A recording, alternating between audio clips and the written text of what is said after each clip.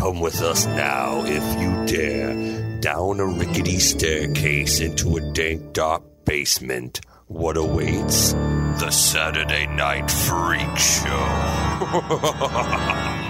Hey, thanks for listening to the Saturday Night Freak Show podcast. We're a movie talk show and review podcast that comes your way every Saturday, whether you're ready for it or not, in our quest for total world domination. Hey, you can help us out with that by uh, hitting that like or subscribe button wherever you found us, or give us a review. All of that stuff helps us uh, move up through the algorithms. Um, these are the internet radio superstars. Michaela. Sean. And I'm Colin. Holly is on assignment tonight. Um, well, in memoriam, we want to tell you where you can find some of her favorite T-shirt designs. Michaela, why don't you tell the In, folks? in memoriam, you're making it Oh, sound like no. Holly died. Holly. Yeah, if you're not on the show, you're you're dead. That's the only reason anybody would miss this. Uh, you go to teepublic.com slash user slash Saturday Night Freak Show. You can see all of our sweet merch. We've got a bunch of different designs to choose from. Lots of different things you can put them on. TeePublic has sales all the time too, so go check it out. Yeah, everything's perpetually 35% off at that place. yeah, there you go.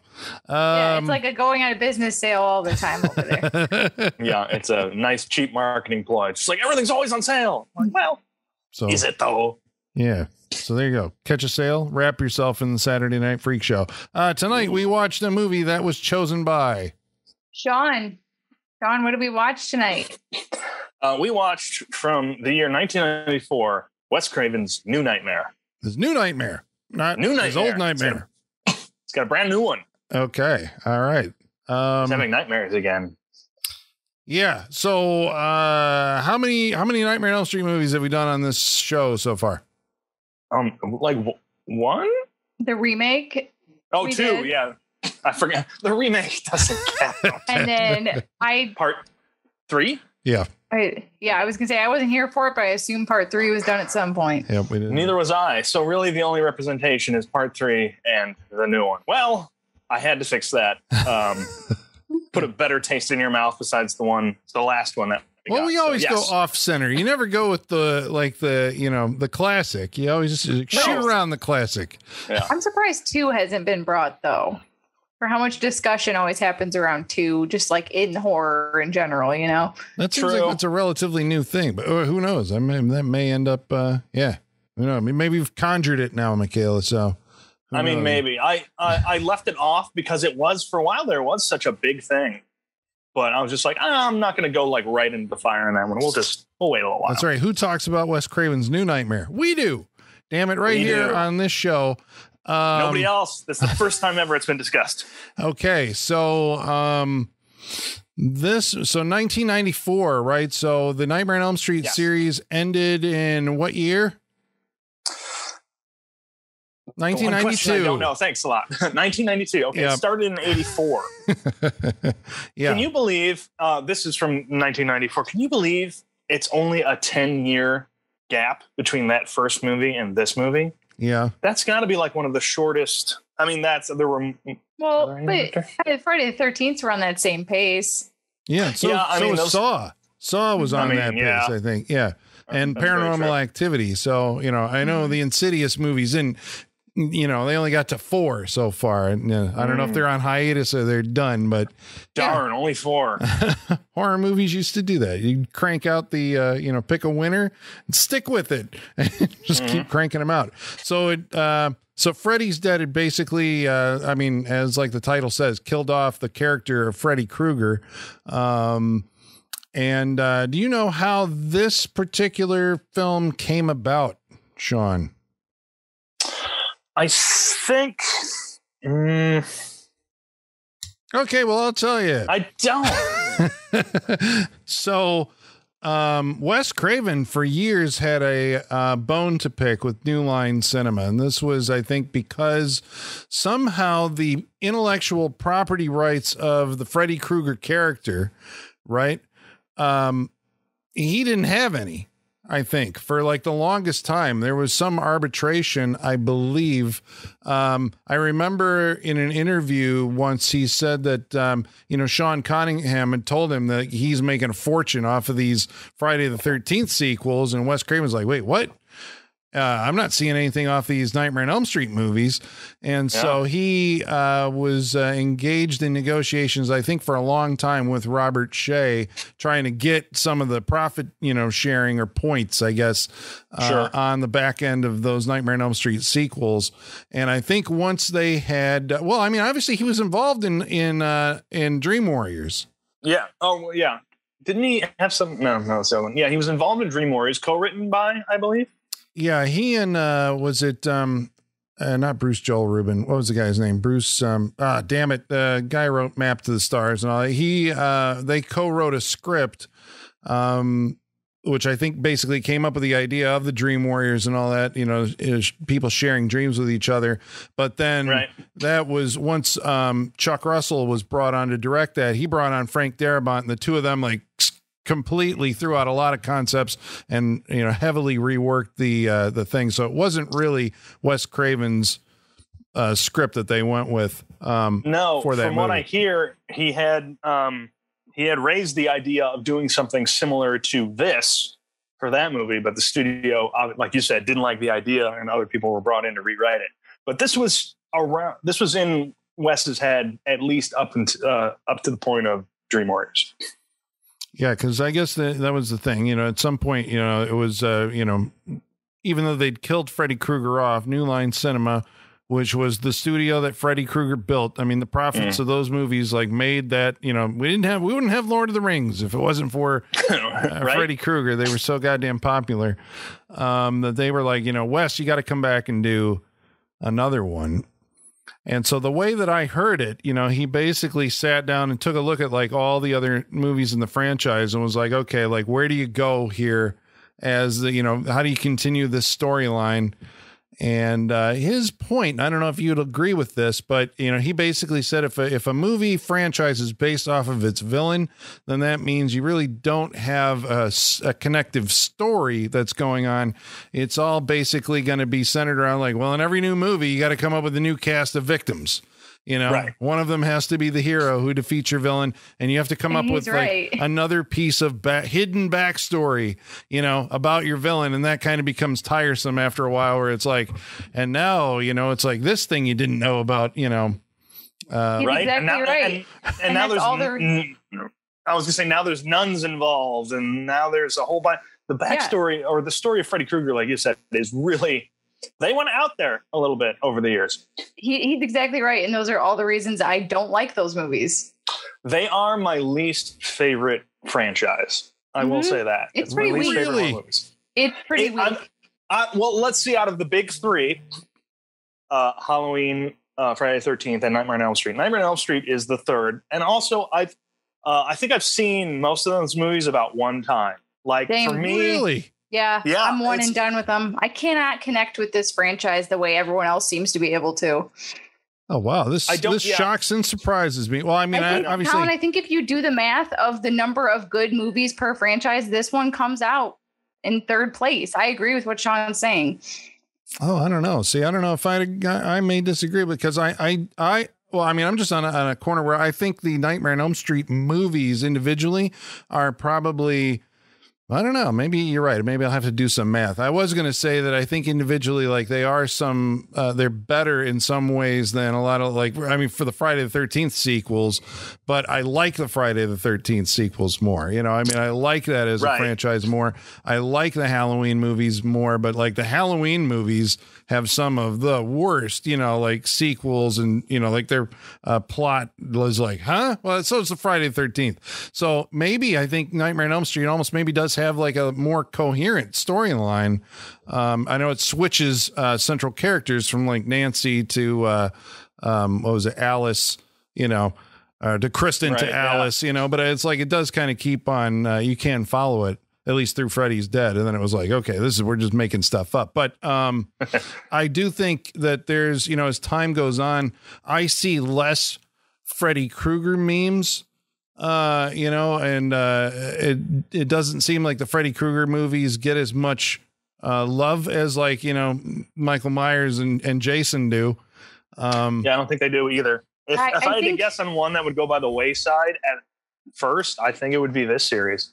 Yeah, and I think that's because he becomes like MTV like Wisecrack and Freddy so quickly in the franchise that like that just isn't something people connect with. I don't think you know. Hmm. Yeah, I think you had to live it Yeah. to really be into it. You Because know? clearly so. they did back then. That was, I mean, that was the distinguishing feature that made Freddy Krueger such a huge phenomenon. Was of the of the slashers, he was the one with the personality.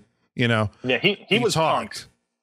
Yeah, Yeah, yeah, he spoke and had a personality, and you know, I mean, Robert Englund comes across, you know, so it was like there was an actor and a, you know, and a and a creature, or you know, and a monster, um, instead of a guy in a mask. But um, so, I mean, I, you, you know, you're saying ten years. I mean, even what you guys are are explaining that you're feeling right now. At ten years, that had already set in. For the majority of the, you know, the, Well, the yeah. box office returns were dwindling. I think uh, four was a huge success. Um, even though I don't think four is a particularly good movie, but it was based on the success of three, right? Right. Three comes out, it's great. So everybody goes to see the next one the following year. And then Not I so think great. five, like nobody went to really see because four was was bad. I think even though it was a huge success, and then uh, Freddy's Dead was huge because it was like this is we're gonna you know be the send off. right. When you get to that point, when you're like Freddy's Dead, the Final Nightmare, or uh, the Final Friday, and when you those points, that's got that automatic draw on it. Like there's a conclusion. There's a, that makes it an event. That's why those do so much better. Yeah. So Craven comes back on board, is able to negotiate his participation in the other film. So now he's gonna. That's part of his involvement in this is contingent that he gets you know money from the other ones, and he sits down and goes like, "Well, what can we do?" And so he started um, calling around. I think that was the you know his thing was always that Heather Langenkamp was his heroine. That was the character who beat Freddy Krueger. Right, uh, he brought her back. Obviously, like so, the sequel to his Nightmare on Elm Street is kind of Dream Warriors. That was the logical evolution of the um, Nancy character. It brought back, I think, in Nancy, you always have to have like her dad, John Saxon, has to be involved in that. And that kind of concluded that story. That was like, you know, Nightmare 1 and Nightmare 2 as far as Wes Craven was concerned. And so he's like, okay, well, I gotta I gotta bring them back in some capacity or make this about uh So Nancy. th- it, is this our H two O? Is that is that our equivalent? Is that this is the only way I can my brain works is I have to equate it to another movie. yeah, she's the Jamie Lee Curtis of the Nightmare on Elm Street uh, franchise. Right. So, but I guess, and this is the thing, like as he was, you know, having these phone calls with her, with Robert Shaye, with, um, you know, Robert Englund, um, you know, he he was finding out what they were doing in the in the intervening years. And a lot of the stuff that ends up working into this movie was like real life things. You know, she did have a stalker, apparently. right. Um, that is true. Although it wasn't a Freddy Krueger stalker. Did you know that? No, it's just a regular stalker. Well, you know, just it was the a- garden variety ones. It was a fan. The guy was a fan of. Uh, she was on a show called Just the Ten of Us, and apparently Oh, he was very upset that that show got canceled and became like and started stalking her. I mean, weren't we all? I remember watching that. Yeah, because she was in it. That's what you know. But and nobody else Right. knew that. Um, and she had had a child, and she was married to a special effects guy. I think that's David Anderson in real life. And uh, don't they have like a company? Um, Yeah, they run pretty a pretty- one. pretty successful one. They've done a lot of work over the years. You've seen other stuff in like the new Star Trek movies. Um, Heather Langenkamp's in that movie, dressed in, in garb and alien shit. But yeah, a pretty successful uh, effects company. Yeah, because they also did like Cabin in the Woods, and they did uh, Dawn of the, Right. the Zack Snyder Dawn of the Dead uh, Yep. movie. Um, so, So Craven, pretty meta here. yeah, but this is okay. But this is, I mean, I guess what you got to talk about is like this is an out of the box fucking idea for a Nightmare on Elm Street sequel movie, and I mean, I give credit here to Wes Craven, um, because. Well, I don't know. I mean, maybe there was something in the the zeitgeist because 1994 is also the same year that John Carpenter did In the Mouth of Madness. hmm And it seems to me that there's also some kind of fourth wall breaking stuff going on in that movie. Um, Yeah. So do you think there was uh, like more of an awareness among horror fans at this point where they could pull off something like New Nightmare and have it be successful because you gotta like you said it's a risk because of the characters they're involving with this. Bob Shaye, wes craven um, and making them their characters themselves. Do you think that they were noticing an uptick of like um, uh, horror movie fans like i don't want to say getting smarter but um, getting to a point where they could pull off this story Well, I mean, I don't think it's a risk at this point, considering there was like eight movies before this. You know, like it'd be a risk if it was your second or third movie for sure. But at this point, I don't think it's that much of a risk. But I mean, I think Wes Craven's just ahead of the curve because I mean, look at like he did Scream not long after this, and that was a bunch of self-aware, you know, characters and kind of fourth wall breaking. You know, so I think that was just something he had been wanting to do for a while and found a venue for it. Yeah, and I mean, granted, Scream was uh, that was you know Kevin Williamson was the writer there, but it just the the fact that it landed on Wes Craven's desk, you know, for Right. him to direct, kind of put him in that because yeah, it does seem like uh, New Nightmare is like a dry run in some ways for this kind of like you know. Um, it's the, they're meta movies, right? Where it's like it's Yeah. mo- Scream is about horror fans being in a horror movie, basically. Um, yeah This if one, you look at it, actually, it's more of a um, it's more of a setup for Scream Two. I think there's more similarities between that movie and this movie than the actual first one. Yeah, because there's a movie being made about the movie. Um, Right. Yeah. Once we get into all that, I think like that's the bigger okay, payoff from this movie. I wonder, and this is the the same thing. I think that in the Mouth of Madness, this is the, they have the same theme. Although I think maybe Night, New Nightmare is more successful at hitting it success, you know, um, multiple times. And the it's the idea because both of these guys, Carpenter and Craven, are um, living through this period where every movie that they make gets criticized, right? Is like you're making these horrible things and putting them out into society, and there's unstable people out there, right? The horror audience who lap Right. this stuff up and then they turn around and they do shit in the real world that's inspired by the characters that you create. And so, you know, because I think there were obviously, you know, people who would build, you know, Freddy Krueger gloves and attack their sisters or, you know, do something, you know, Right. uh, people getting injured or possibly, you know, I don't know if there were, uh, you know, real life murder scenarios with guys with razor blades and all that stuff. But it's the idea that the creator is actually sitting there thinking about like, am I actually, does horror movie, do horror movies corrupt the audience? Right. Right. Um, Do you think they do, Colin? I mean, because that's kind of, that's what this movie is like point blank asking at one point. is it?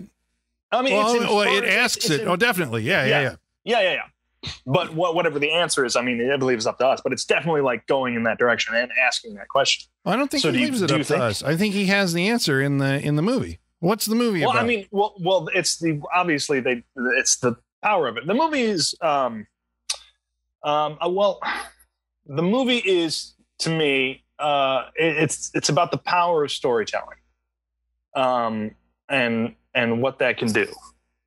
What the hell was that? Um, what was your question? I think that this movie is actually like secretly a horror movie for like working actors because it's the idea of like you do one thing in your career and it's always going to come back and you're never going to be able to get out of that shadow. That is what you are going to be known for, whether you like it or not. So learn to deal with it. yeah. Yeah, how, how many working actors do you think saw this movie and just groaned?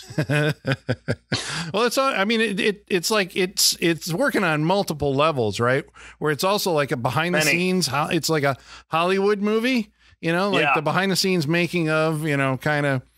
Um, Oh yeah, we we're getting the behind the scenes everything in here. I, I love a good uh, I love a good behind the scenes Hollywood movie. Yeah, but I think his his thesis, the answer that Craven has for that question, is that in human psychology, right, there is an evil, right, that we're all we all have within us, and I think to him, I believe that he thinks that stories, maybe movies specifically in this case, but as you were saying, storytelling, Mhm. um somehow and you've heard this before that horror movies are like boot camp for the psyche or whatever so you you know you experience horrible things and you're not doing them in real life or it's an outlet Right. for aggressive um you know or whatever fear You know, Uh, an outlet for fear. Yes, yeah, it's it can a, a release of it. If you yeah. will. And so his theory here is that somehow, like in this specific case, this unnameable thing, which is, I guess, personified as a demon, has mm-hmm. been contained in the storytelling of the Nightmare on Elm Street movie series. And it likes being Freddy Krueger because it's the most popular. And once they stop making the movies, then he's saying, well, then, then, you know, if you don't make horror movies, then you risk this thing coming into real life, you know, Right. spilling over into reality. And that's basically what the movie's about, right? It's like, Right. well, we got to make Yeah. another movie to contain, you know, to, to, or at least to give that outlet so it doesn't become a hazard to the real people uh, involved in the making of the movie. Right. And I, I, I like this uh, view of the movie because I think anybody who's a fan of movies, I think kind of like deep down, they they believe the stuff, like the power of these stories to contain these things. Like I love this idea that he comes up with for this because somewhere deep down, like I want to believe it. Like I'm in it. Like I'm oh, it's fun, but it's fun too. Not out of some sort of like I'm I'm I'm still have my grasp on reality and I know these things aren't real, but it's it's fun to imagine that I mean stories have power to begin with, but to actually have a power to contain something like this, I uh, it builds a good mythology for like horror movies in general, but for I mean Freddy Krueger as well. I, I love this idea. and he works in uh, even like classic uh, you know because i mean basically there's a foundation i I thought it was kind of interesting that he pins a lot of this on hansel and gretel Mm. Right where in that Yeah. version of the story freddy krueger is basically the witch and the kids are going to beat the witch by throwing it in the you know the fire in its house or whatever once you're caught by the the witch and kind of i'm like this is a it's a, that's a clever idea you know to kind of hang your movie on that um Right. Okay, so as we said, uh, Heather Langenkamp is back. How do we? How are we introduced to uh, the fictionalized Heather Langenkamp in this in this movie? Well, what better way than on a Freddy Krueger set, Collins? I mean, we come in and we're in the middle of. we- uh, We start off with. Uh, do we know what? We don't know it's a movie right at the beginning, do we? No, not until they yell cut. We start out in that. Um, in Freddy's lair as he's creating a new mechanical glove, an alive mechanical glove, as it were. Um, and so he's going through the motions of creating it. And then he reaches for the big butcher knife and cuts off his own hand to put on the new glove. And that's when we hear uh, Wes Craven giving directions in the background. So we figure out we're on a movie set. And then we kind of go from there. We're introduced to characters. I mean, we all should know at this point. We got uh, Wes Craven, Heather Langenkamp playing themselves on a set, and our visual effects guys messing with our new Freddy glove. There was also a uh, there's there they also work in like a real life uh, earthquake. Um, wasn't there like because I, think they at some point they drove around and got some uh, footage of like the wreckage of the earthquake, but it, they play it into the plot, right?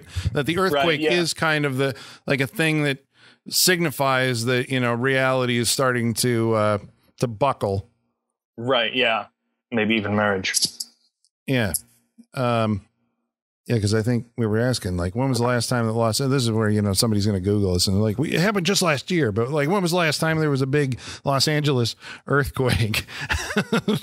I mean, what are we looking for? Like freeways falling down? Because yeah, well, this one was big enough to also inspire Escape from L.A., right? And it wasn't, uh, wasn't that like Yeah. somewhere on this? Yeah, Yeah, this was yeah, this was a big earthquake that they. I think it happened like two weeks, um, just before the end of production or something like that. After they'd shot all their own earthquake stuff, then an actual earthquake happened. So yeah, they sent the film crew around to go pick up some shots.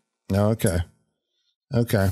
So, um, the quote unquote real life Heather Langenkamp, uh, so she's got a, a, a son played by the actor Miko Hughes. Um, anyone who was watching movies in the 1990s has seen this kid. Am I right? Or Yeah. TV even. He's been he pops up fucking everywhere. You can't avoid this kid. Is yeah, he still Pet working? Sematary. This Oh, movie, sorry. Full House. Yeah. Oh no, it's all right. But yeah, he, I- he was uh, a noticeable kid Yeah, I checked his IMDb. He's got a few like indie movies the past few years, but that's about it. Yeah, I know he's been doing like the convention circuit, but I mean, isn't he Yep. also famously the uh, boys have a penis and girls have a vagina Yep. kid from Kindergarten Cop? There is. Uh, he was in Spawn. I mean, he was all over the Mhm. place. Oh yeah, Spawn. Yeah, he was in everything. Yeah.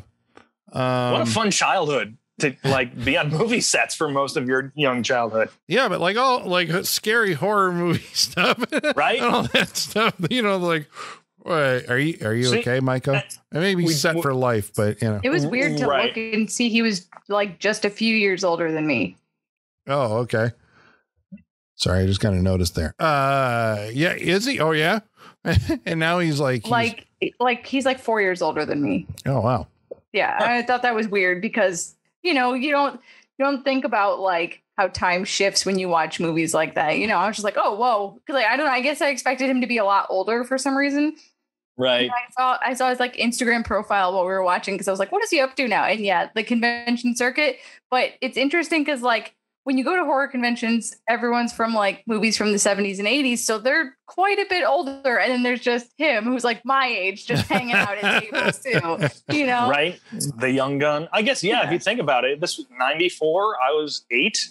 I mean, come on. So right there at the same age as this kid. So yeah. Mhm. yeah. It's like if uh, you know the things would have worked out a little different. It could have been you. Uh, And, right? I mean, uh, you know, it's going to end up being my kid who looks just like Miko Hughes. Funny enough, no, he'll be the actor. Well, so the kid, uh, Dylan is his name in the movie. So he's basically the conduit then, right? For, uh, for this, uh, dream demon thing to try Right, and 'cause- start making contact. Yeah, because Wes, uh, Heather has a sit down with Wes at some point, and Wes says he's going to, if Freddy's going to come into this world to get you, he's going to attack you at your most vulnerable points, and that would be her son and her husband, uh, Dylan, and what's his husband's name? And husband.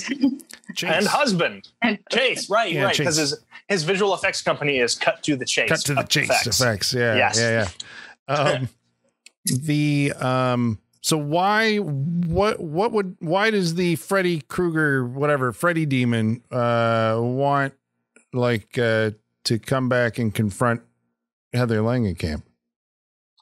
I think because it's uh, like uh, Wes says in the movie, there's a few reasons that the quote unquote genie can come out of the bottle.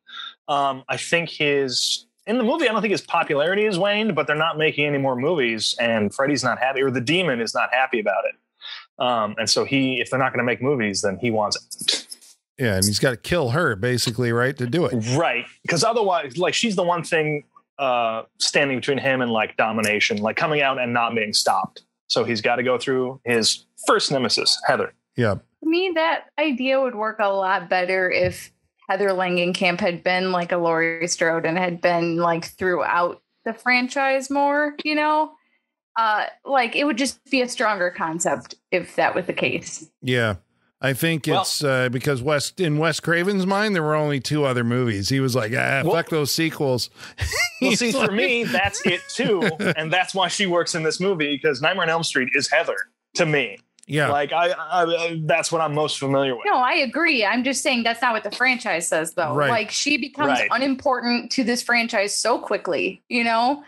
So But- she's not on a Laurie Strode level in that sense. No. Yeah, I, well, I think uh, you know the irony is I think you can watch uh, Nightmare one, three, and seven, and basically that that is like the arc.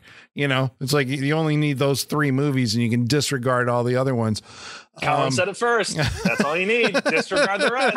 Colin, you're proving our point about the Colin- mask not working out. Yeah, well, no, but whether or not they're good movies or not, it's like, well, I get some affection for some of the things that they do, and, Well, and some right, of the, you know, they're fun even, movies. even movies you don't particularly like still have some good stuff in it. Yeah, But Yeah. but not enough to get me to rewatch it though, Sean. Like I'm It with you, like I've seen them all like once, you know? There's, I'll watch that first one whenever. That's great. Um, but yeah, the other ones, like, I haven't had a draw to get back to them. yeah. Well, maybe, well, maybe they're due for a rewatch. You got to go for your eight film Maybe. uh, Nightmare on Elm Street, or what eight, including uh, Freddy versus Jason, right? I mean, I've got that. Yeah. Um, Well, Robert Englund also does show up in the movie as himself. There's uh, early on in the movie, we're setting up like, I mean, there's a, because I, I was thinking about it, the first 20 minutes is a pretty like decent economy of storytelling where it sets up that there's, um, you know, earthquakes are happening, and that's kind of got everybody shaken and rattled. She's getting phone calls from a stalker who's pretending to be Freddy Krueger, and so she's concerned about her family. There's a moment where she meets Robert Englund again. It's at like a, a TV talk show. Um, thing that's uh, you know going on interview and they surprise her by bringing out Robert Englund in full Freddy uh, you know, makeup, but he's Mm. playing the Freddy Krueger that you've seen in the other movies, you know, uh, playing up to the audience and all that stuff. But there was a moment where the guy asks her, like, you know, oh, you've got a kid now. What's his name? And you can just see it on her face that, you know, she's aware that, you know, I'm giving more of myself, you know, uh, my private Right. life out to these potential crazy horror fans. I guess that's what they are saying is that, you know, it's like, well, that you do have uh, horror fans who are, you know, overly Ravenous. enthusiastic. Yeah. yes, they're, they're, I mean, they're in that crowd. They're ravenous for Freddy at that point because they're in the crowd of the talk show taping. They're all dressed up. They've got signs for him. It's a craze. yeah. I, I want to live in this world, you know? Like, I want to live in this world where, like, this is like prime television. Heather Langenkamp is an is an A-list celebrity that has a fucking driver and people recognize her in public. I want to live in this world, you know? I think that, that yeah, that did happen, and probably around the time of this movie. I mean, they, well, I mean, I think people get picked up and taken, driven to, uh, you know, their their interview uh, dates or whatever that they have on shows. But I think you probably would have seen an audience like that if Freddy Krueger showed up on, you know, um, I don't know, the Arsenio Hall show or uh, Right, yeah. uh, Regis and uh, not Regis and Kelly, who was uh, Kathie Lee. Kathie Lee. Yeah. Yeah.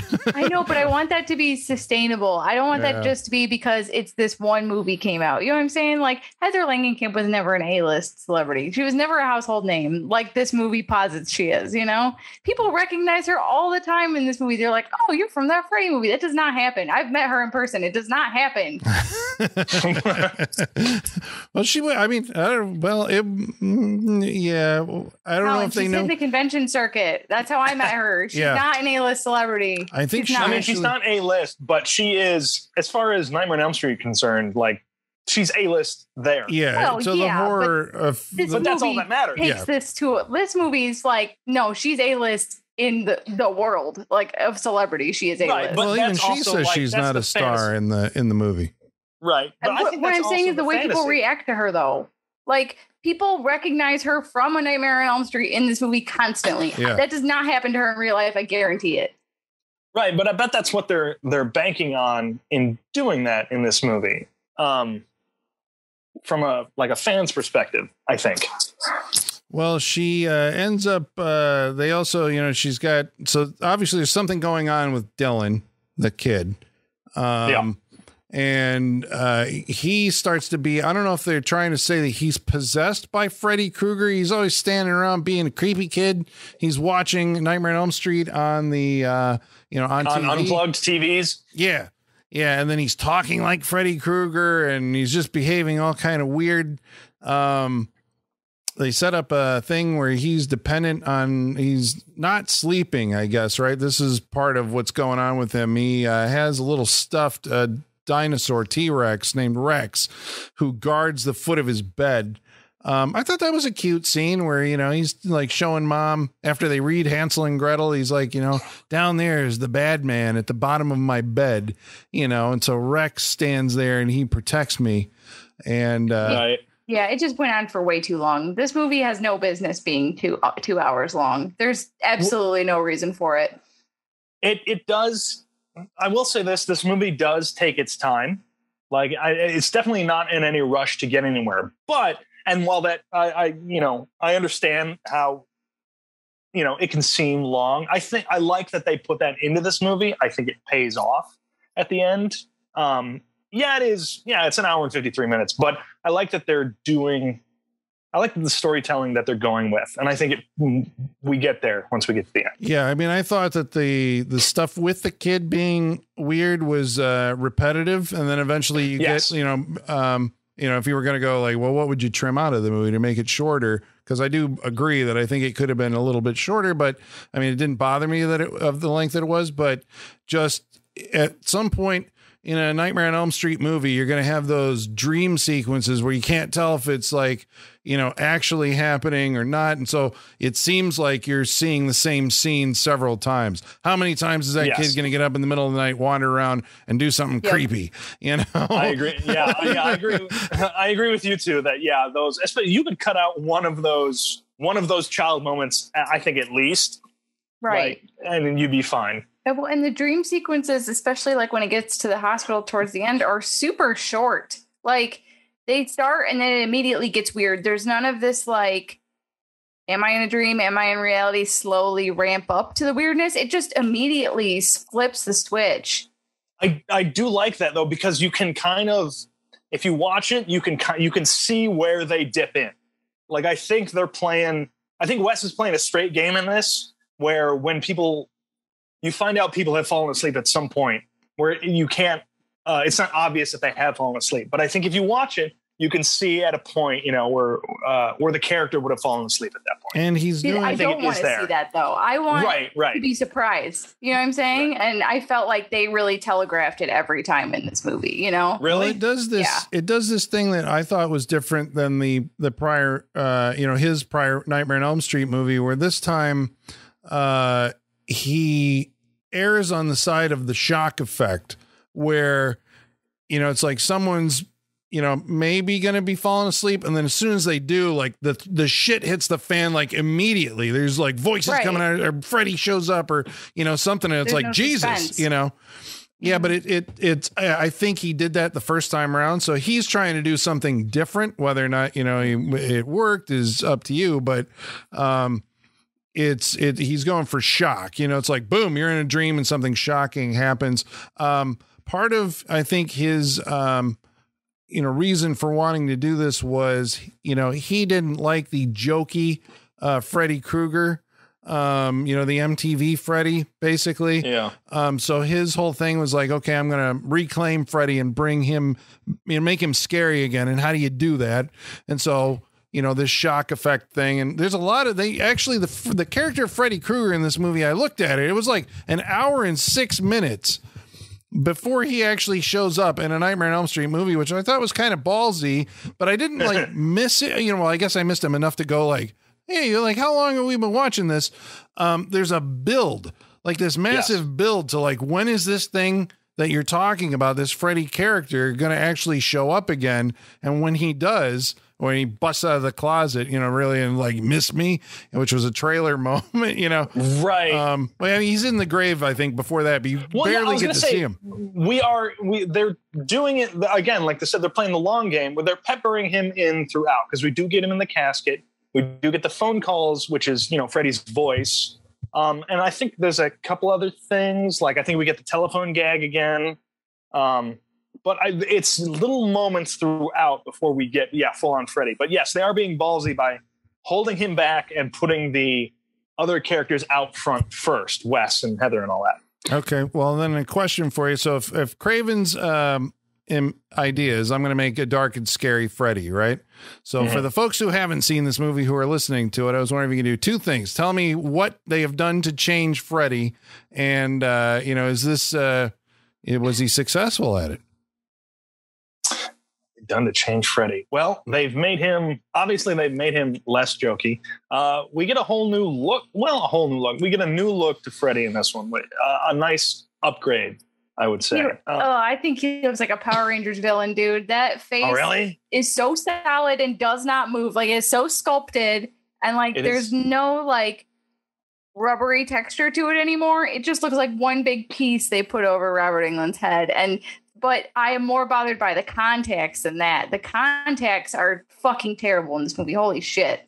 Yeah, I don't know personally if I like Freddy Krueger with context. They carry that over to Freddy versus Jason, where it's like an amalgam. Right. Uh, that's like an amalgamation of like the after New Nightmare, like an evolution of that where he's got pointed teeth. I'm like, no, just Yeah. stop, go back. You Right. know, like Contacts are so distracting, man. They they're, they're crazy looking. I'm really not a fan of those.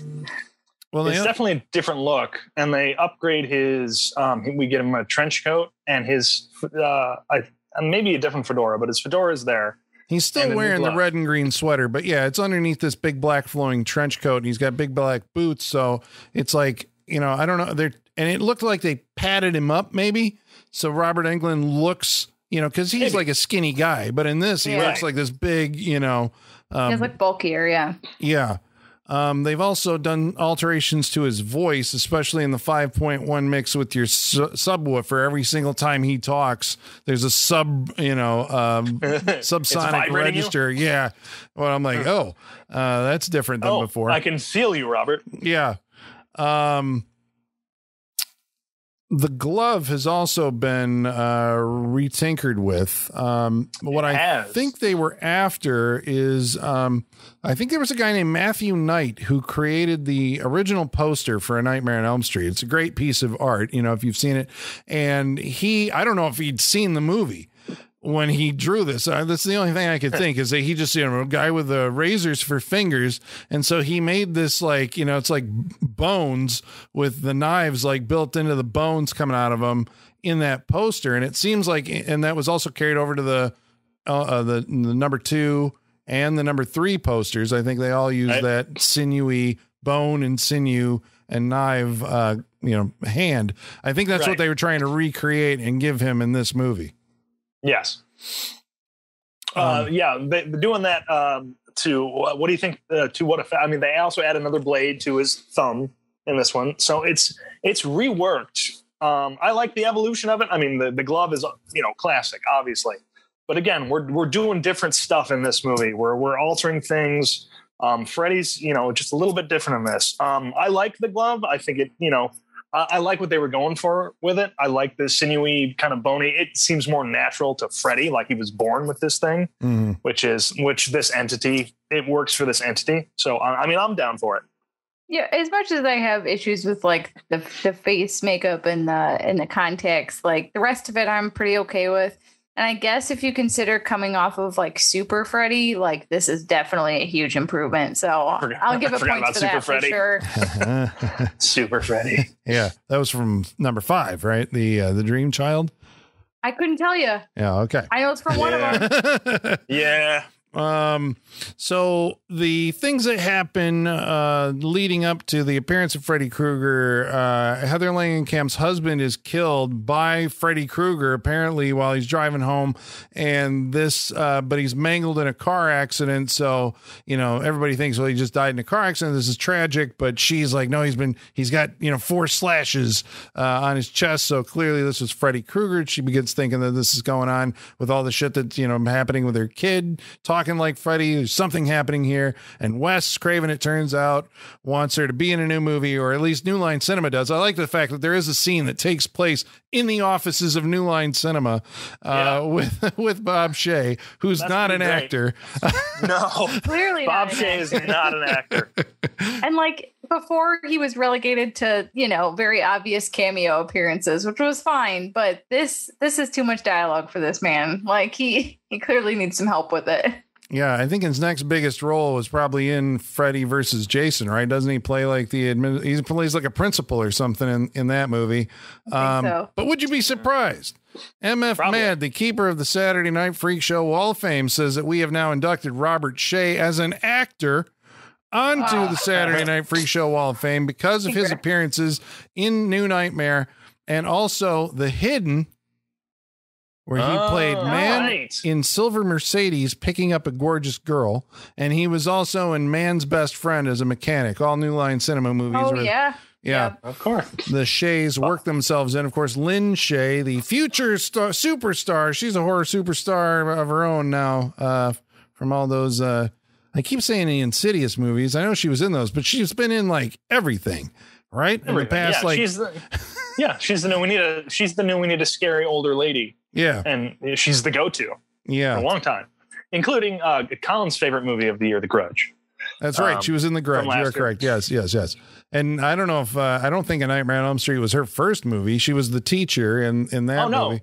She's uh, uh, what year was that? 84. Um, I'm trying to think what year Critters was. God damn it, That was Uh, 86. 86. Okay. Yeah. No, I couldn't have been her So first. maybe it was Nightmare on Elm Street. All right, who knows? Maybe, huh? Um, so um, so after the husband is killed, and then that kind of brings um, every all the so we have the Nightmare on Elm Street funeral scene, uh, which is you know like a pre. So this is like a Nightmare on Elm Street movie. It's just like operating weird. Um, Yeah. or we get to see Nick Corri, who was in the original Nightmare on Elm Street movie. He's there Tuesday Knight from Right. number four is there. Uh, Robert Englund's obviously there, and John Saxon shows up. Um, and uh, of course, the infamous story of, of Johnny Depp not being like this was the scene Johnny Depp would have been in had Wes Craven had the courage to ask him to be in the movie. yeah, did you hear about that? 1994, Johnny Depp. No way he's fucking doing this. No He way. said he he said he would have. He said he would have. It, He it's said- always easy to say you would have after the fact. right. Obviously, yes. Yeah, that was. Like, uh, this is like peak of his career. Like, I really don't think he'd give this the time of day. You what know? if I told you that Johnny Depp had a cameo appearance in Freddy's Dead in 1992? He did that one. That that makes me think even more reason for him to turn down this one. You know, I already did it once. I'm not doing it again. He'd do it. Come on. Yeah, he was on like a TV or something in that. Uh, in Oh, yeah, that's on a That's. TV, He's, isn't, he okay. talking- isn't this your this is your brain on drugs? your brain on You do that? drugs. Yeah, Yes. yeah. Um, Yeah, so yeah, Wes Craven said that he was too timid to actually ask superstar Johnny Depp, and later when he ran into him, Johnny Depp said, "Sure, I would have done, done it." but um, so uh, John Saxon basically then becomes like because I was kind of I liked the the way that the movie did this. It like brought John Saxon in as like the confidant of Yeah. uh, Heather Langenkamp. You know, like they're friends off off screen also. You know? Like after playing with father and daughter, they like they bonded, and now they're just friends in real life. It's kind of nice. Yeah. It's a good. And plus, it's a good way to bring in you know other characters from that, especially John Saxon. Um, we should say, rest in peace, John Saxon. The Academy may have forgotten. We have not. That's right. We didn't. Freak Show we have not. has not forgotten. That's right. We appreciate the long storied career of John Saxon, where that guy was in the the Mario Bava movie, the first Giallo ever made, The Girl Who Knew Too Much in like 1967. He was basically, I think, right at some point they wanted him to be the next Burt Reynolds. He was in like a bunch of uh, like exploitation movies. He was in Italian movies. He was in Enter the Dragon with Bruce Lee because he knew karate. He was in all sorts Yeah. of Black Christmas and Nightmare on Elm Street will be the way that we probably always remember him. Yet not good enough for the Academy to put him in the in memoriam. I I know. guess not. I mean, since since the last time I watched this movie, I had my respect for John Saxon has grown immensely. Like seeing all the stuff that he has been in. Yeah. Holy shit! yeah. The guy did a lot. I had no idea. He has done a lot. Yeah. A lot of good stuff. You got to go back and check out the filmography of John Saxon. May he rest. You'll Um, be you'll be surprised. Was the last thing that he, well, like would would have been on our radar? Was that from dusk till dawn? He had like a brief. He was a police and uh, you know like an FBI guy or something, and that like we're gonna get you, I don't Gecko even. brothers. I don't even remember that. it's one scene in the movie. oh man. Um. So, um, because Heather tells the kid that daddy's in heaven, the kid at a playground when they're she's sitting there with John Saxon saying all this weird shit's happening. The kid climbs to the top of a uh play like it's like a space rocket playground equipment thing stands up there and freaks everybody out and this is where we start to go like well you know are we dealing with uh, mental illness or is there actually a supernatural component happening here? And then this Right. was like uh, you know is this like a, a real life thing? I don't know but there's a big deal made about you know heather langenkamp says that there's mental illness runs in her family and she becomes afraid that she's passed on some kind of hereditary um, issue to her son. Um, Yeah, this kind of seemed like uh this seemed like a weird ad to the movie because I, you know, unless you're, I think you're, unless you're aware of what the mental illness is in Heather's family, I don't think it makes for a very strong storyline. I don't know. I thought it was weird that she was talking about passing a madness on to, um, onto Dylan when we haven't heretofore like seen that madness. It's weird. Right. Yeah. But I guess it's the only way that they can kind of explain away from like a real world scenario. Because what they're going to go with, right? What, what Craven's going with is that sleep deprivation causes the same kind of schizophrenic behavior, um, or it can be misdiagnosed as schizophrenia Mm-hmm. If but it's actually sleep deprivation because Dylan's been keeping himself awake and that means that he ends up getting admitted to a hospital and this begins like this second part of the movie it seems like where Heather Langenkamp becomes more convinced that this Freddy Krueger thing is real. I think at some point in there, she actually does encounter Freddy in her bedroom. Uh, you know, when he's like, you know, Miss Me is getting his power back or whatever. And, Yeah. um, but the kid's basically being held captive at the, um, at the hospital where there's a nurse Ratched type character who I thought she was basically voicing the critic opinion of horror movies, right? She's the voice. the the critic or like the PTC, the parents te- the parent teacher council and stuff like that. The people who are like horror movies, they will rot your brain and make you do violent things. Like she's yeah, she's definitely a stand-in for that group Yeah. because she keeps asking like constantly. Even the first thing, one of the first things she asks Heather is like, "You haven't let him watch your films, have you?" Like Yeah. she's very concerned about it. And then when the kid starts talking about Freddy Krueger, then she's like, "You have let him him watch your films. Good day, Miss Lane." You know, it's a very she's morally Right. indignant. She's that good day. character. Yeah, you're not a good yeah, yeah. parent because you let your kid watch horror films. You know, God damn it! um, You shut up, lady. yeah, and her, of course, you know, what method of treatment is to, uh, you know, we're going to drug the kid up and make him sleep because that's what he needs. He just needs to sleep, and that'll, you know, cure him. Um, there's a scene in here where uh, there's a babysitter character or a nanny um, named Tracy who um, has been throughout Oh, the yeah. film. But um, she's there when Freddy Krueger actually shows up. Uh, I guess what happens is Dylan is uh, given a bunch of sleeping medication, so his uh, dream becomes basically a reality.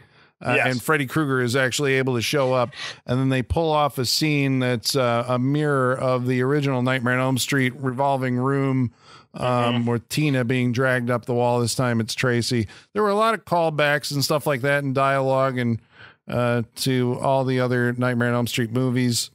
Um, you know, references to "Can you come into your, my dream with me?" And I think that only Yeah. happens in the movies. You know, stuff like that.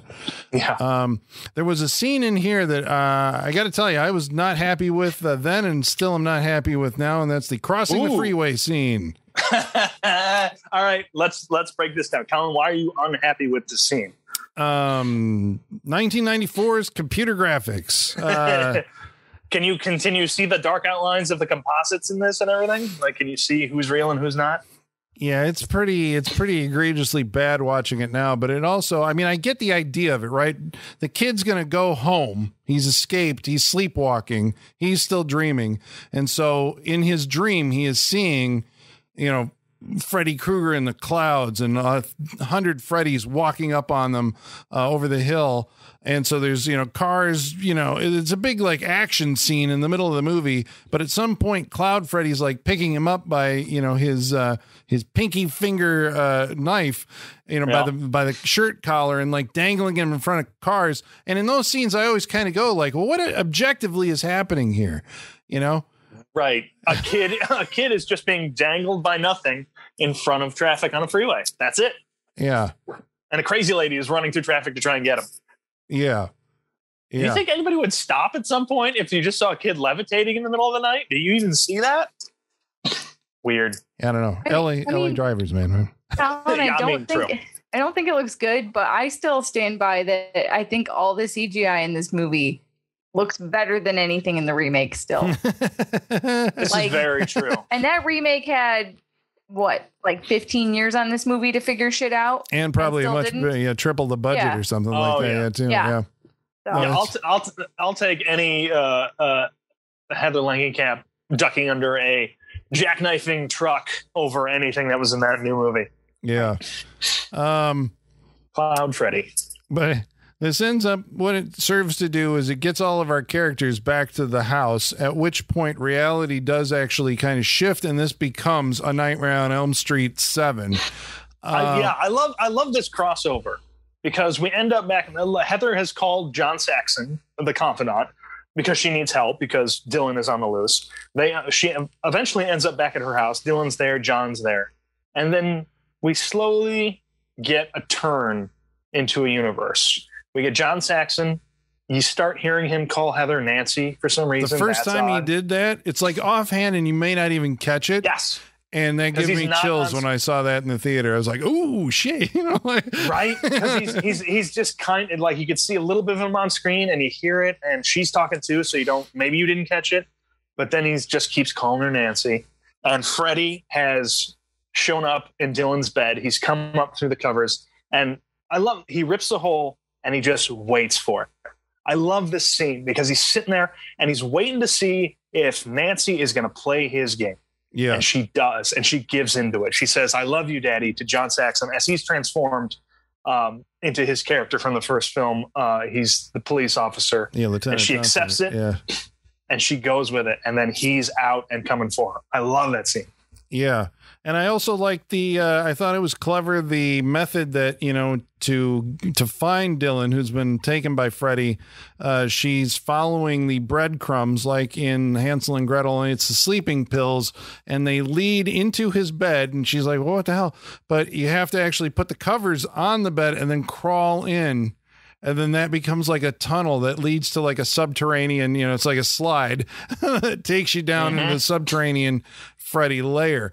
Um so i mean i guess that's the thing here. Um freddy krueger doesn't have a whole lot of screen time in this movie. Um and so this is the big climactic um you know moment. Uh what'd you think of uh, i mean like what are we what are we going for here with this uh well, what, what about- about the set? I mean, what does Freddy Krueger's lair look like? Why does it always have to be weird castle dungeons with him? Why? I don't like it's a dream. It can be whatever the fuck it wants, but I feel like it's always the same. I think that's the point. I think that's what the demon likes. Like he likes that atmosphere. He likes bringing victims into that area to torture them. I think I it's I think it's perfect for him. Well, I think I- he thinks it's perfect for him. I just wish these movies would get weirder sometimes, you know? Like you can do whatever the fuck you want and you keep retreading the same territory. That's your previous five movies. You want Yeah. something weirder? Go watch. No, yeah, I have think- seen those, but like I don't I mean like environmentally weirder, not necessarily like the nuns and all that shit and the Mm. dream childs like like I mean if you, you think about the, some of the weird dreams you've had, you know, it's not always like a logical structure that makes sense. Or you know, get some MC Escher building shit going on here, you know? No, they Melt- do that. They do that in five. They do that in five. Yeah, but there's always like the Wes Craven dreams. Um, his is always like you know because there is like that bleed. Usually, like you're in your house in your basement. There's one thing that's like out of place, and you open it, and it turns out there's a subterranean you know, like stairway in your basement that, you know, like a dream. It's just like the, you know, and then you end up in, in Freddy's boiler room or something like Yeah. that. So it just keeps changing. Or there's goats in your boiler room for some dumb reason, you know, because it's a dream. Um.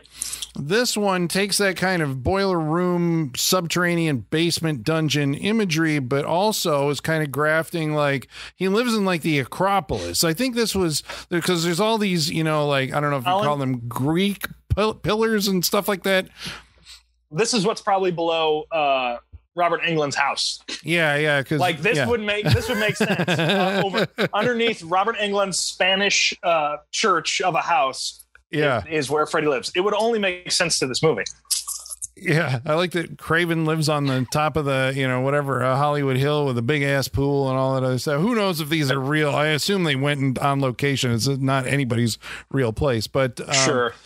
I think they're trying to imply here that this creature is so old that it dates back to, you know, like, because it looked like it was, you know, some kind of Greek or Roman um, environment, you know, Yeah. um, that, you know, some kind of. Oh, Um, and, and there's drawings. There's drawings on the wall of like old like dog demons and shit. Like, yeah, they are really trying to uh, play up the ancientness of Freddy. Yeah, but they're also grafting on the story of Hansel and Gretel, where there's basically an oven that the kid crawls into, and we get Freddy Krueger with the giant tongue, you know, attack thing that you know he does. Right. We get stre- yeah, we get stretching arms and giant tongues and stuff. We get like Freddy's there. He's in here. yeah, and they're able to eventually like push him into the uh, the oven and blast him alive with fire because fire is the thing I guess that kills that Freddy Krueger's afraid of, right? At least the It's the screen version. Odd, odd that he lives in a place with so much fire if he's that afraid of it. Yeah, Right. Kind of kind of odd, Freddy.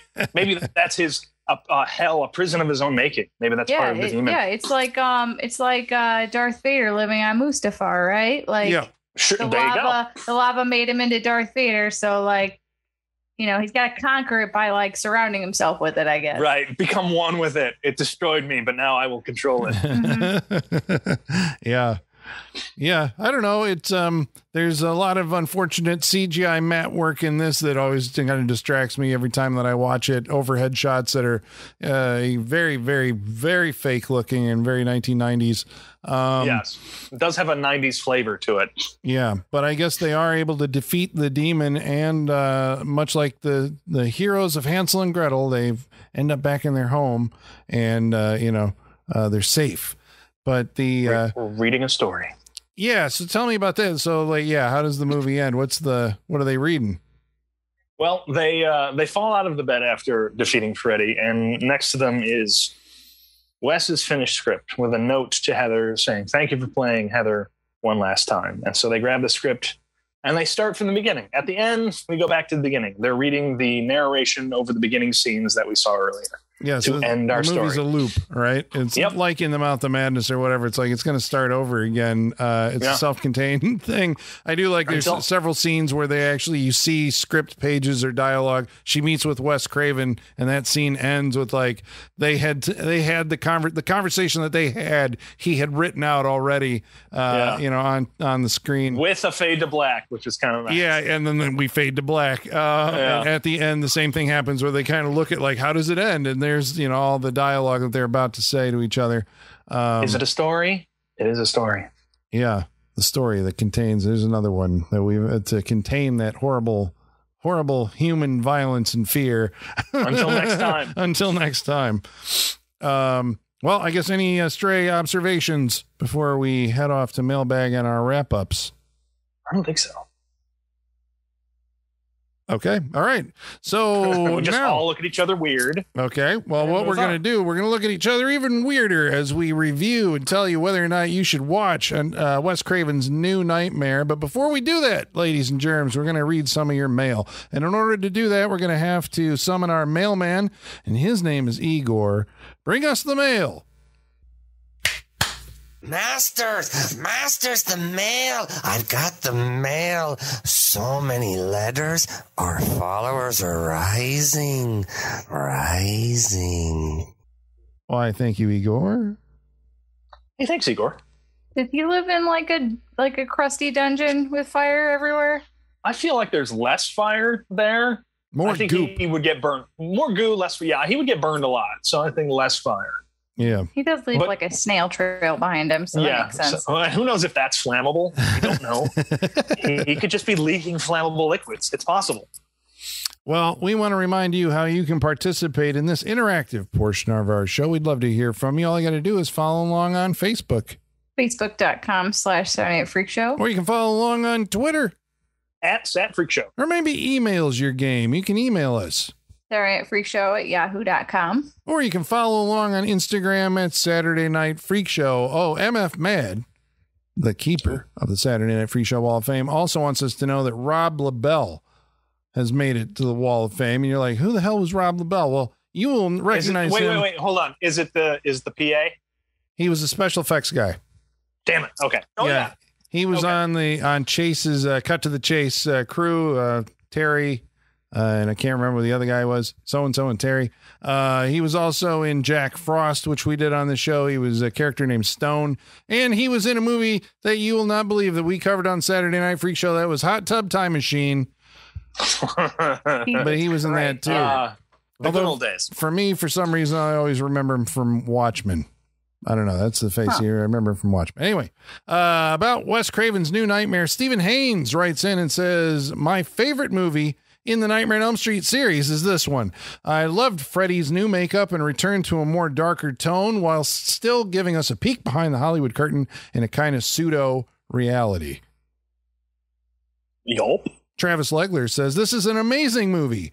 I love seeing Robert Englund play Goofy Freddy on the talk show, then play Dark Freddy. And at the end, when Heather hits him in the face and yells, Fuck you. Ah, I love this movie. I can't fucking wait for your review. Awesome choice. It, uh, thank you. Uh, it is a nice dynamic. it is a nice dynamic that we do get, uh, quote unquote, old Freddy at the beginning of this movie. That is nice to have that in there. Uh, Robin Linneman Silverberg writes in and says, Everyone seems to love this one, but it left me pretty ambivalent, but I haven't liked a Freddy movie since number three. I Well, think you- this movie's pretty divisive. I'm going to say this movie's divisive. I see a lot of both. All right. Well, Michael Whitaker says, We're reaching a time when I stopped being afraid of horror movies, and I remember seeing the commercial for this and thinking that mechanical Freddy Krueger looked cool. Hmm. Uh, It Jay- was. Jacob Law says, I love this version of Freddy. He was legitimately scary for the first time since part one. I love the movie, but it would have been better if r- it was Robert Eng- Englund being haunted. That would I I didn't That'd I never so thought cool. about that. Right? I never thought about that until they mentioned it in this in this comment. I'm just like, damn it, we didn't get a, a Robert Englund versus Freddy thing, and Yeah. that is that is the that is the one downfall I will say that I have with this movie. It's just like, oh, we could have had. it. demon, it could be like Highlander. The demon's like, there can only be one. You're the false prophet. I'm going to kill you. You know, Right? we killed everybody else. Why couldn't we kill Robert Englund? Yeah. right. Oh, wait, Ah, when was what a missed Last Action Hero? Ninety three. Boom, I'm telling you, some kind of meta shit going on in Hollywood at this point in time where this is where Hollywood ate itself. right now, we figured out the magic. That's because uh, Jack 80s. Slater and Arnold Schwarzenegger. Right. yeah, sorry. I, th- I think we're. I, I think I'm coming down to narrowing down the magic year in the '90s, Colin. I'm not there yet, but I think I'm coming down to it. So I'll, a little more research has to be done, but I think I'm getting there. okay. Stay Um, tuned. Simon Carter says, I always liked this movie. Some solid performances from the main cast, and it was a pretty cool idea to change things up in the franchise. The earthquake story is kind of crazy, too. Yeah, especially considering how the real life events played in. Yes. Uh, Matthew Ola says, I just watched it last week. I thought it was good, but super meta, obviously. Obviously. And DJ Malika says, I can't wait for this one. I know fans are divided on it, but I've always appreciated it for going outside the box. I wish they would have also done something with Peter Jackson's idea for part six. He says, if you don't know what that is, it's absolutely worth a Google. Cheers. I looked it up. It was Oh. A Nightmare on Elm Street 6, The Dream Lover. Oh, so Freddy has sex. Uh, I didn't get that far into it. I was like, it had something to do with like kids are going into the dream world so they can pick on Freddy because he's got no power, and I don't know. Yeah, you have to look it up. Ooh, But Peter A Jackson, reverse. yeah, he, I was uh, gonna say I'm not. I'm not up to this. i- Uh, I'm not up for hearing this idea. But once I heard it, I'm just like, okay. Yep.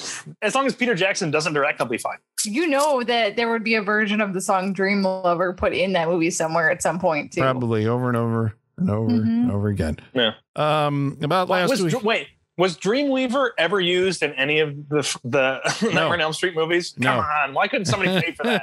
Because that guy's a pedophile, so I don't think people want to Oh. license his music anymore. well, there's that. Um, last week we watched a movie called Nomads. B Movie Poster Vault wrote in and says, I have several questions. What We in the too. name of Q's wrinkled butt is Nomads? Q because Pierce Brosnan, James Bond is in the movie. Okay. Yep. Uh, he says, Why does the poster I found online have Pierce Brosnan blasting a laser out of his crotch? Why is he dressed like he stole John Travolta's disco outfit? And where do I watch this right now? Mm, You know, we have I answers for all those questions except the last one. I wish I had answers for any of it, you know? Yeah, Michaela's the one who wants the answers real bad. Yeah. She got she got stiffed on that one.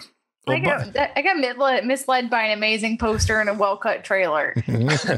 and by Yeah, now, hey, B Movie. Poster Vault, we hope that you've listened to our episode before you've decided to see the movie. Um, uh, previous Ah. week, we watched a movie called Dracula 2000. And, uh, or sorry, no, last week we did Shivers. Sorry. And then Nomads, Oh, yeah, Dracula 2000. Appy L says uh, about Dracula 2000. I watched it the other night with the TV sound off, and I played your podcast at the same time, and it synced up fairly well and was pretty fun.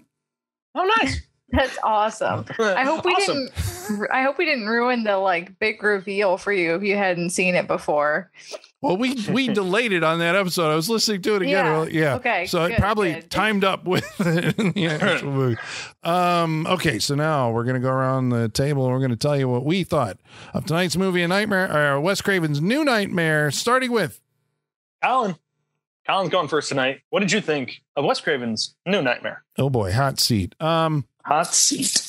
Yeah, I keep on complaining about '90s horror movies, but this is actually one that I like. um, I guess I did. I like that it was such a drastic departure from uh, the Nightmare on Elm Street series, which had gone kind of, you know, long in the tooth. It's like, okay, it's the same movie basically every time. And the last one, uh, Freddy's Dead, I didn't care for. It was the tone of it was so uh, off putting to me. I guess campy maybe would be the word for that.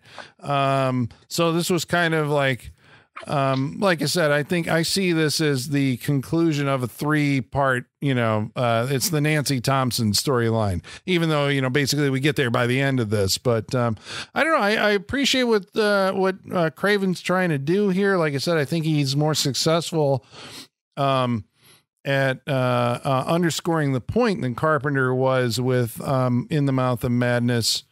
Um, but I find it ironic that um, um, Alex Aja, the French director who did the remake of The Hills Have Eyes, said that when he was doing that movie and Wes Craven was a executive producer on it, that there's a scene in that film, you know, involving uh, one of the mutants, like goes in and like you know kills a bird in a cage. That was in the original movie, and uh, Jean wanted to do it for the sequel, or, you know, for the remake, and Craven was really had a problem with it, I guess, and was trying to come up with, trying to encourage him to do something else.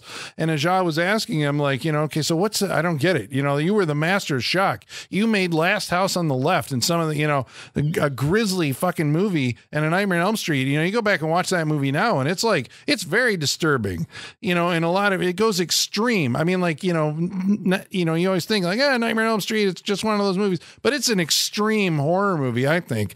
Uh, you know, when you go back and uh, watch it. Tina, Tina in that body bag with all the blood has always felt like a like an extreme version of a death. Like that is, it's fucked up. Yeah. Like that's extreme. Yeah, it's gory and bloody and violent and uh yeah, I mean it pulls no punches.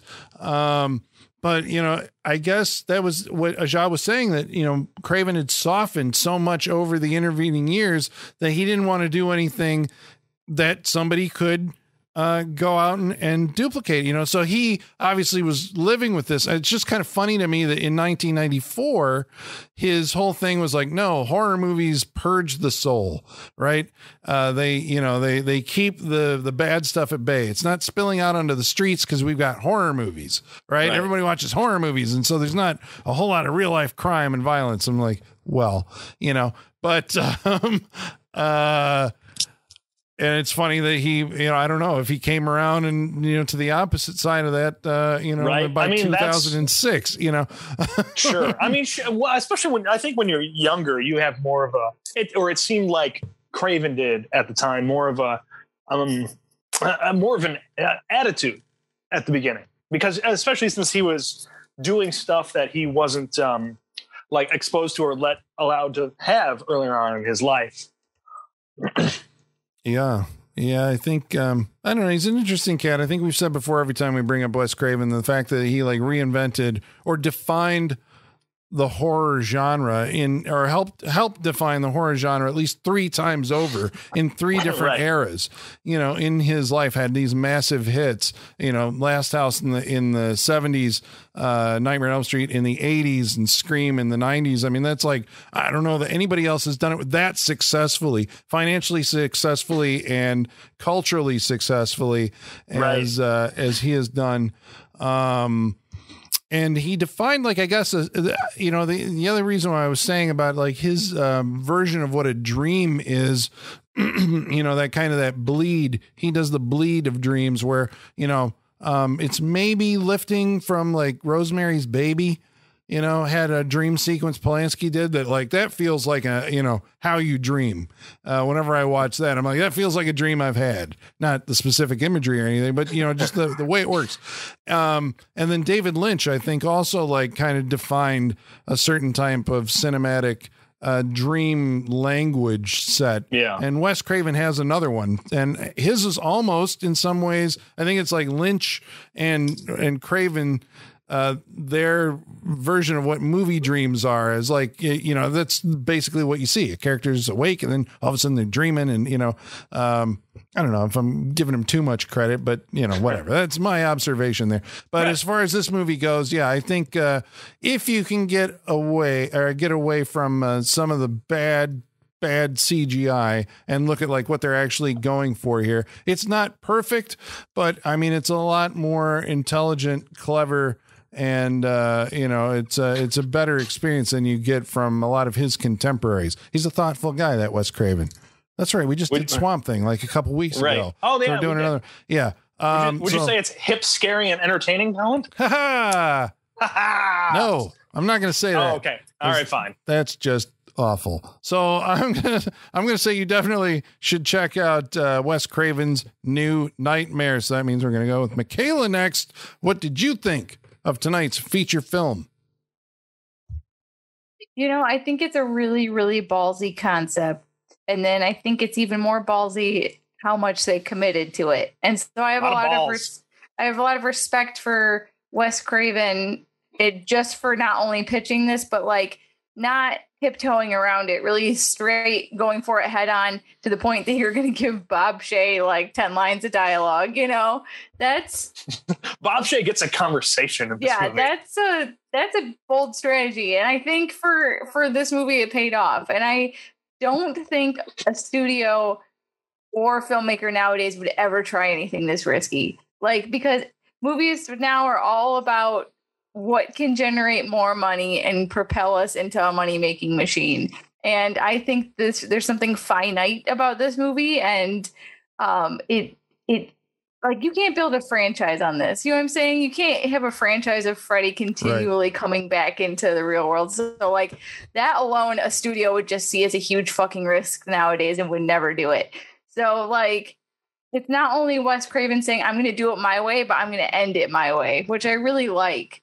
Um, and it was really good to see him and see him on screen again. It made me a little sad though too. Like I, it made me kind of miss the dude because he has such like a gentle and calm presence that like just feels very genuine and i don't know he has like a like a grandfather energy you know that i really like and yeah. that I- grandfather I- that will murder you at some point. yeah, and like i don't know it was good to see him on screen he is a way better actor than bob Shaye, which is like good for you you know He- i feel like he sold his scenes pretty well um as much as i don't like you know like some of the choices they did with freddy and stuff I I mean I still really like it. I still think there's a lot to like about this movie. I just think the concept is so good and I think it's probably the best you can get for this kind of concept. I don't think you could really pull it off any better.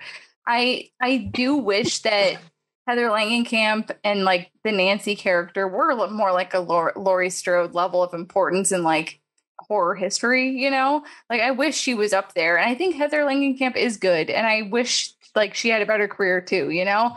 Um and but you know, they only gave her, you know, three movies ish, you know, in this whole franchise. So, um, and that I think that's a problem I have with this franchise. It's like, I don't know why I'm okay with it in Friday the 13th that you have like different people every movie, and I'm not okay with it in Nightmare on Elm Street. I don't know. I don't know what the difference is there, but it just doesn't work for me as much with these movies.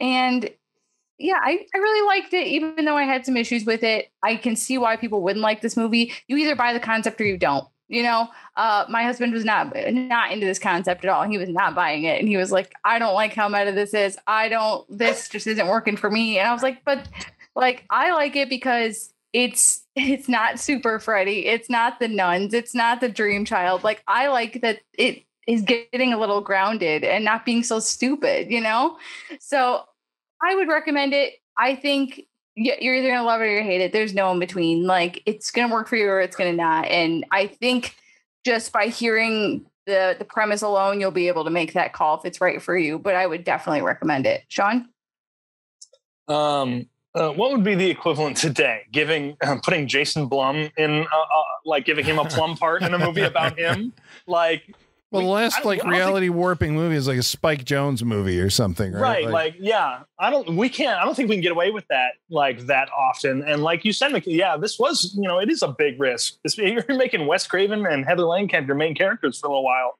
and not giving yourself freddy. Um this movie is i mean like we discussed i i like the character of freddy. I like certain things that he has done over this franchise.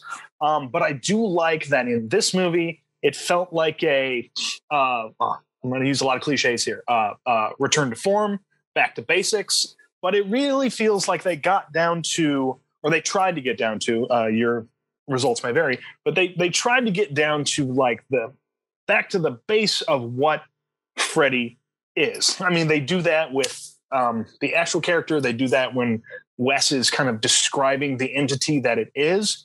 Like it's it's it's basic evil that has taken a form. We give a little backstory to it, which I think there's a lot of things in this movie that I'm very forgiving of because it is a behind the scenes Hollywood movie. Like if any of these other explanations came through in quote unquote other normal straight horror movies, I think I'd be a little less accepting and believable of it.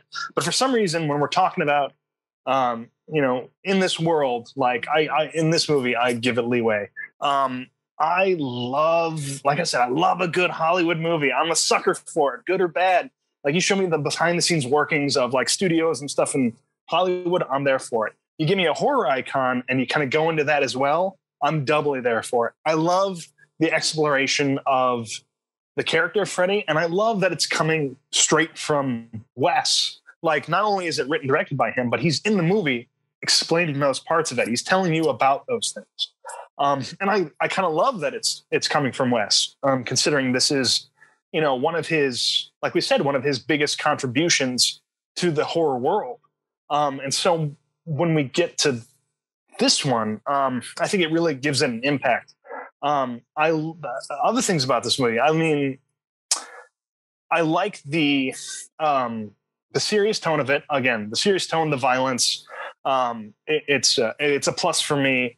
Um, I think everybody's doing a pretty good job acting. I love the stuff with Heather and Robert. It's kind of like a dream if you're ever a fan of the the Freddy series to see all this stuff happening. Um, I like his theme of stories and the power that they can, the power they have and what they can do, and I think that comes across really well in this movie.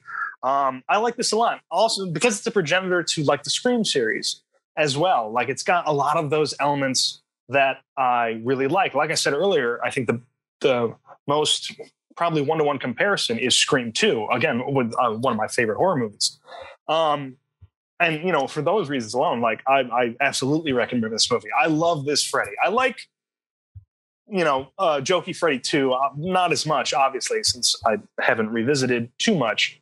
But I think what they do with this character and the arc they show, like Colin said, from like one, uh, one to five to seven, or one to three to seven, um, I think it's really good. I like that this kind of, it's a good end for the character as well. Um, yeah, I mean, I thoroughly enjoyed it. Uh, I definitely think you should watch it. Uh, it's one of the best in the series, as far as I'm concerned. So yes, I recommend Wes Craven's New Nightmare. All right, so that's Freak Show approved. That's all three of us are telling you you got to go watch it. If you haven't seen it already, there's something wrong with you. Uh, so next week we're gonna watch a movie that's chosen by Holly. Holly, Holly, Holly. What are we watching next week? Um, we're gonna watch the movie that I chose. It's called. oh, I thought maybe she had told you guys. Okay, so it's I gonna she be. told me. Oh, she told did? me. I know. Oh, okay, here we go. We're gonna watch The Others. The from 2001. Nicole Kidman. No, Yes. no, we're not. Okay. We're gonna watch something else. All right, so next week we're watching the others, the Nicole Kidman uh, classic. I don't know. We'll find out. No, we don't know. All right, next uh, you all seen it, right? Yeah. Oh yeah. I yeah. saw. I saw it once. Okay. All right. So that's next week on the Saturday Night Freak Show. We hope you'll join us. And until then, ladies and germs, the basement is going dark.